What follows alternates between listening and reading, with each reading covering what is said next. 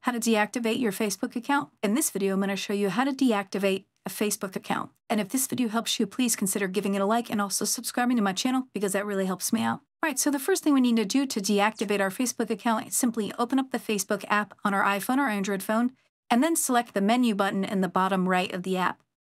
Once the menu opens, select the gear in the top right to open the settings. And then once in the settings, the first section will be labeled Account Center. Go ahead and select See More in Account Center at the bottom. Once you open up the Account Center, scroll down and under Account Settings, select Personal Details, and then in Personal Details, select the last option, Account Ownership and Controls. Now that we're in here, all we need to do is select the last option, Deactivation or Deletion. Then select the Facebook profile that you want to deactivate. And you have two options in here. You can either deactivate your Facebook account, and this is temporary, or you can permanently delete your Facebook account by changing to delete account. To temporarily deactivate our Facebook account, make sure deactivate account is selected and then go down to the bottom and select continue. Keep in mind if you have any Facebook pages that you're the owner on or the only admin, those pages will be deactivated as well. So go ahead and select continue.